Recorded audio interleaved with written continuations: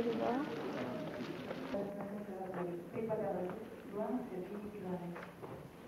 Сергей Дербенко, сюита 5 лубочных картинок. Максимов, обработка румынского танца Лигуричи. Сергей Бланов, вальс экспромт.